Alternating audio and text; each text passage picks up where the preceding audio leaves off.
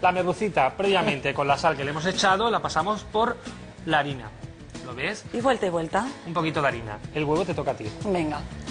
Un poquito de huevo ahora para llevárnosla para allá, que nos vamos. Y yo me voy a llevar pues todas estas cositas. Esto que hay que echarlo así, ¿no? ¡Ay! ¡Ay! ¡Ay! ¡Ay!